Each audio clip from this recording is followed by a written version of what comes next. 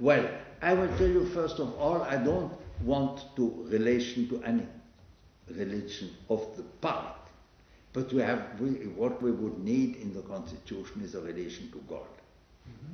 You see, that is would be decisive because there the Jews, the the Mohammedans, and we Christians could uh, pray together and uh, speak together. Uh, the poisoning of the whole situation was into the Second World War. Because in the Second World War, uh, President Roosevelt, who was a great man, had one idea, and I think it was a right idea. He was very, you see, his whole political uh, thinking was very much uh, molded by the failure of Wilson.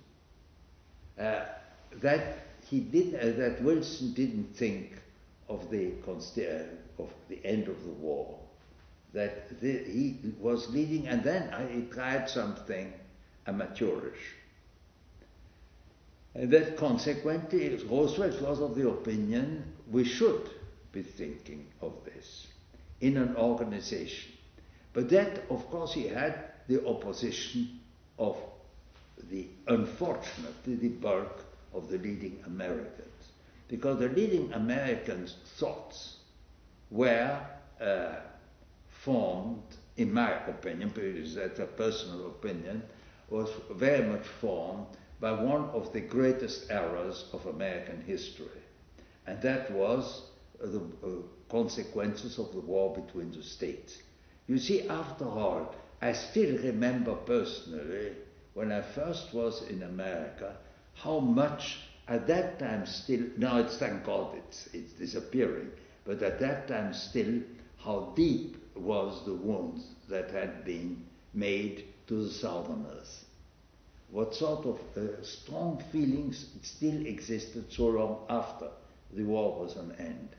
Uh, the, what was the last word reason for this? Uh, the slogan, this idiotic slogan of capitulation, unconditional capitulation. That unfortunately influenced the thinking of many of the leading Americans. I remember, for instance, I don't uh, now I don't want to be indiscreet, so I won't tell you the name. But I was walking in uh, Washington one day with a, one of the highest officials of the State Department, and we uh, discussed now what to do. It was still during the war, and I said to him that I was very much against this unconditional uh, surrender because it, it, it hurt more the winner than the vanquished in the end. And consequently, the possibility of a real uh, lo- solution was no longer given. Because if you have unconditional surrender, uh, you can't negotiate anymore. It's just the same thing, you know, this idiotic uh, thing that happens in many policies now to execute the leaders of, of the unpleasant other side. Uh, the assassination, uh, the killing of uh, even of the Iraqi leader is a terrible error because for one thing, a dead person cannot reconcile. A dead person stops in his attitude toward the other at the moment of his death. And consequently, what we need is always to keep open, and there is no, there is no advantage in executing somebody. For instance, the hanging of Saddam Hussein was a great error, in my opinion, and we are going to pay for it, and we are going to pay for it very dearly in the future. And consequently, that was also the idea uh, of Roosevelt who wanted to have this solution. And that is consequently, he told me that more than once, he wanted to create something uh, that should be lasting. But that, the beginning of this era, was really the start of the Dumbarton Oaks meeting. At the Dumbarton Oaks, in which there was not just three countries represented the United States, Great Britain, and Russia. Russia's representative at that time was Maxim Litvinov, who was no longer, no longer foreign minister, but he was still uh, carrying on this matter.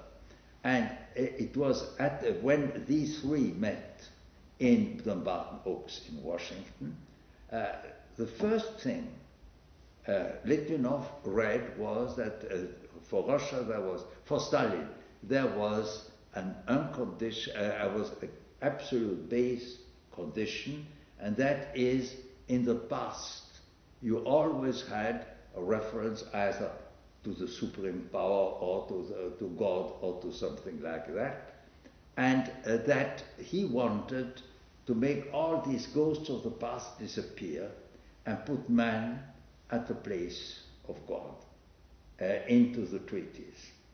And that was when, for the first time, Russia demanded that there should be no mention of any supreme being. Although it was, in my opinion, it was absolutely erroneous also for a very, simple reason. You can't have man, man human rights uh, without God, without the last authority, because uh, to submit it to this sort of uh, changing majorities is no, no ultimate uh, authority. And consequently, it, is, it makes no possibility of, of putting something which is really the point of reference.